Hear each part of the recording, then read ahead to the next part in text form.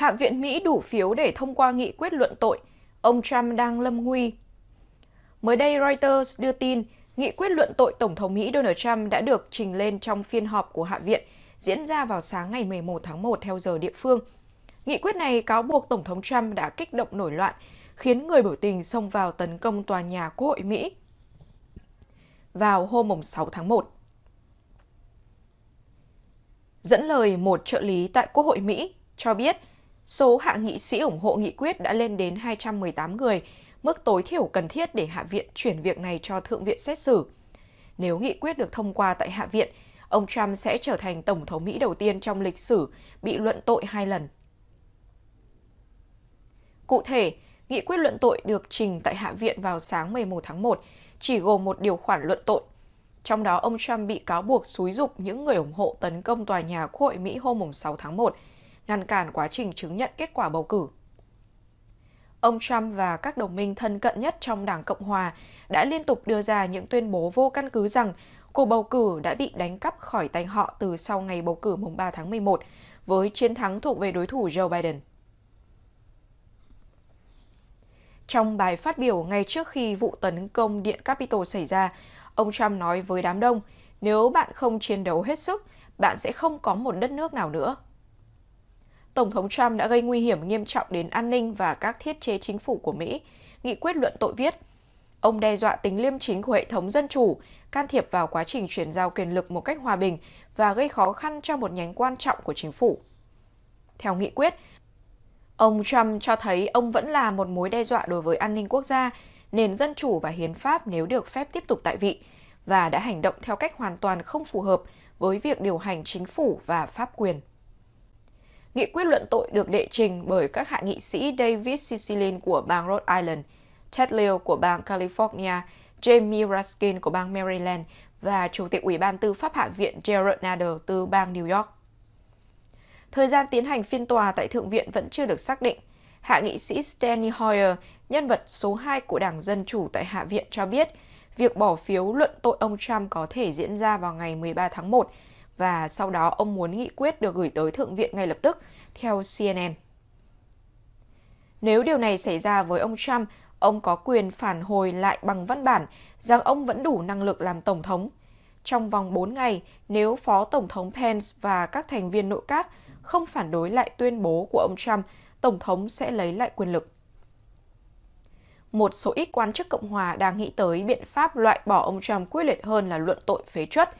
Nếu các cáo buộc sai phạm của ông Trump được cả lưỡng viện quốc hội thông qua, Tổng thống sẽ bị phế truất và rời khỏi Nhà Trắng ngay lập tức. Theo quy định, việc khởi động tiến trình luận tội sẽ do Hạ viện khởi xướng. Hiện Đảng Dân Chủ đang kiểm soát cơ quan này. Thượng viện sẽ giữ vai trò xét xử, quyết định ông Trump có tội hay vô tội. Nếu lưỡng viện Quốc hội Mỹ đều đồng lòng, quá trình luận tội và bãi nhiệm ông Trump có thể được kích hoạt ngay lập tức và hoàn tất trong vòng một ngày. Theo quy định của Hiến pháp Mỹ, Tổng thống sẽ bị xem là có tội và bị cách chức, lấy hết bổng lộc ngay lập tức nếu 2 phần 3 thượng nghị sĩ chấp thuận. Đây cũng là mức trừng phạt cao nhất theo quy định của Hiến pháp. Theo tu trình án 25, Phó Tổng thống sẽ trở thành Tổng thống trong trường hợp Tổng thống bị phế truất, qua đời hoặc từ chức. Trong mọi trường hợp, khi Phó Tổng thống và đa số các quan chức chủ chốt của cơ quan hành pháp hay cơ quan tương đương nào khác mà Quốc hội đã thành lập bằng luật chuyển lên Chủ tịch lâm thời của Thượng viện và Chủ tịch Hạ viện văn bản của họ tuyên bố rằng Tổng thống không thể thực thi những quyền lực và trách nhiệm của mình, thì Phó Tổng thống sẽ ngay lập tức nắm quyền lực và trách nhiệm đó với tư cách quyền Tổng thống. Giáo sư người Mỹ chuyên về luật hiến pháp, ông Bowman nhận định khả năng Hạ viện luận tội ông Trump sẽ cao hơn việc kích hoạt tu chỉnh án 25. Nguyên nhân là do Phó Tổng thống Pence có thể từ chối nỗ lực này và không tập hợp đủ đa số sự ủng hộ trong nội các. Luật pháp Mỹ đã có những quy định cụ thể, nhưng cũng có những điểm chưa có quy định cụ thể về vai trò của Thượng viện trong vấn đề luận tội với phiên xử Tổng thống. Theo đó, tại phiên xử này, Hạ viện sẽ đóng vai trò là các công tố viên – họ sẽ chọn nhóm đại diện luận tội để trình bày các luận điểm chống lại Tổng thống tại Thượng viện. Trong khi đó, các luật sư của ông Trump sẽ đóng vai trò là nhóm bảo chữa cho Tổng thống. Tổng thống sẽ không cần phải có mặt trực tiếp tại phiên xử và về mặt lịch sử cũng chưa Tổng thống nào có mặt trực tiếp trong hai phiên tòa luận tội Tổng thống trước đây. Tranh án Tòa án tối cao sẽ chủ trì phiên xử tại Thượng viện và chịu trách nhiệm đưa ra những phán quyết theo thủ tục xét xử trong suốt phiên xử. Tuy nhiên, Thượng viện có thể bỏ phiếu để bác bỏ những phán quyết của tránh án. Cũng cần phải nói thêm một điều, mặc dù phiên xử tại Thượng viện được nhắc tới như một phiên tòa xét xử, nhưng nó là một thủ tục chính trị hơn là một thủ tục pháp lý. Hơn nữa, việc tổ chức phiên xử này theo cách nào sẽ tùy thuộc vào quyết định của Thượng viện. Chẳng hạn họ có thể gọi các nhân chứng tới để trình bày lời khai trực tiếp, giống như đã làm với cựu Tổng thống Andrew Johnson, hoặc quyết định không cần làm vậy, như họ đã từng làm với cựu Tổng thống Bill Clinton.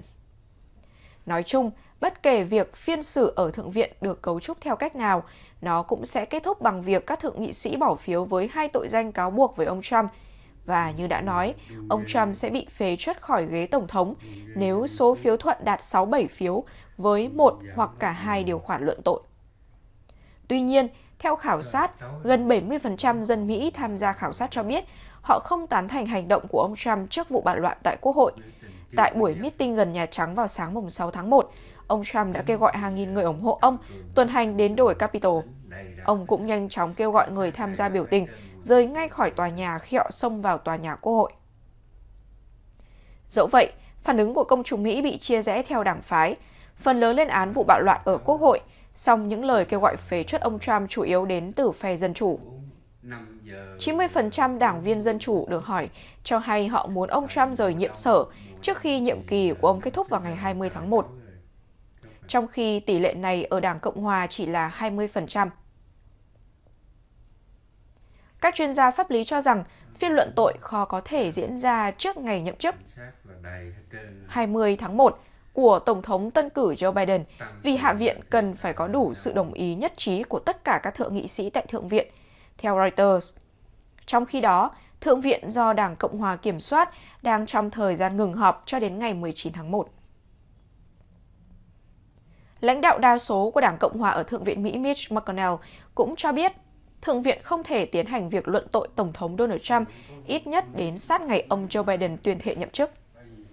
Theo ông McConnell, hiện Thượng viện trong giai đoạn không họp và chỉ tổ chức họp một số phiên chiếu lệ sau mỗi 3 ngày. Các phiên họp sắp tới rơi vào ngày 12 tháng 1 và 15 tháng 1. Ông McConnell cũng nói rằng để tiến hành bất kỳ hoạt động nào, bao gồm quá trình luận tội, trong các phiên họp theo thông lệ nêu trên, cần phải có sự chấp thuận nhất trí của toàn bộ 100 thượng nghị sĩ. Tới nay, Thượng viện vẫn do phe Cộng hòa kiểm soát, nên việc tìm thấy sự đồng thuận tuyệt đối như trên sẽ là điều gần như không thể. Trong khi đó, lãnh đạo của Đảng Cộng hòa tại Hạ viện ông Kevin McCarthy kêu gọi hai đảng hạ nhiệt, nói rằng ông sẽ liên lạc với ông Biden để bàn chuyện hàn gắn đoàn kết nước Mỹ. Ông McCarthy không bảo vệ ông Trump, nhưng nói rằng việc luận tội đương kim Tổng thống lúc này sẽ không nhiều lợi ích. Luận tội một vị Tổng thống khi ông ấy chỉ còn 12 ngày nhiệm kỳ sẽ chỉ chia rẽ đất nước chúng ta thêm mà thôi, ông nói. Ông Trump hiện đã bị cô lập trên mạng xã hội.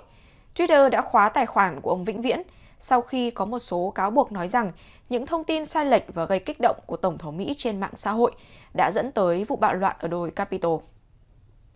Bản tin của kênh tin tức 24 giờ online đến đây là kết thúc.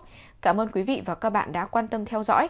Chúng tôi sẽ tiếp tục cập nhật những thông tin mới nhất về tình hình nước Mỹ trong các bản tin tiếp theo. Kính mời quý vị và các bạn đón xem. Còn bây giờ, xin chào và hẹn gặp lại.